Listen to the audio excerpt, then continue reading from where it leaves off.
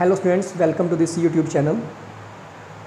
In this video we will study class 7 science Lakhmir Singh as well as an और इसमें जो हमारा basic रहेगा जो हमारा एम रहेगा वो ये रहेगा कि आपके बेसिक कंसेप्ट बहुत क्लियर हों और आपके एग्ज़ाम में मार्क्स बहुत अच्छे आएँ। अगर आप फ्यूचर में ओलम्पियाड और आईआईटी या एन की प्रिपरेशन कर रहे हैं तो उसके लिए भी ये वीडियो आपको बहुत हेल्पफुल रहेगी।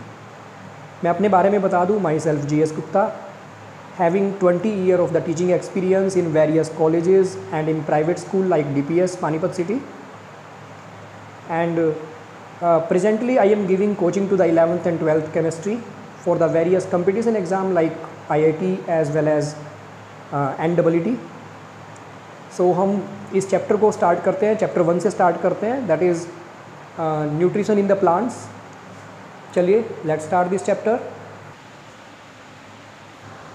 और chapter one is nutrition in the plants nutrition what is a nutrition process is a process of taking food and utilization by the organism so what is the nutrition कि हमने food को लेना है and उसको utilise करना है that is named as the nutrition and dear students why we need food किसी भी प्लांट को या किसी को भी फ़ूड की रिक्वायरमेंट क्यों है?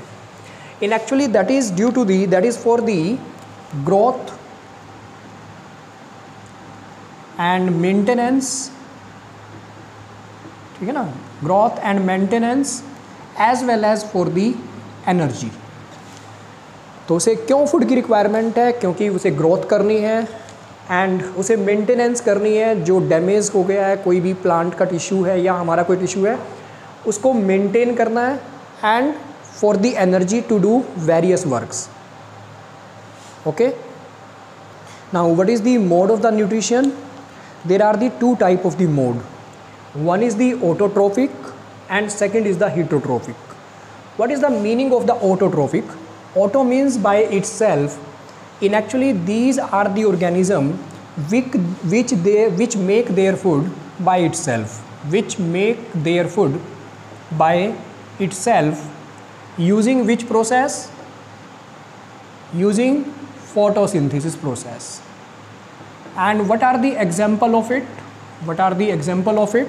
You know it is the green plant which have uh, chlorophyll in it which have green pigment you know chlorophyll in it. And by using the photosynthesis process and chlorophyll in the presence of the sunlight these green plant make their food by itself. So these are named as the autotrophic and second mode is the heterotrophic. What are the heterotrophic? These are the organism which don't make their food by itself which don't make their food by itself.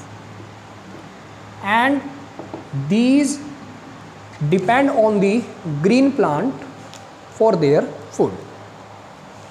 What are the example of it? There are some example like we are having the fungi. Fungi and bread mold yeast. Bread mold.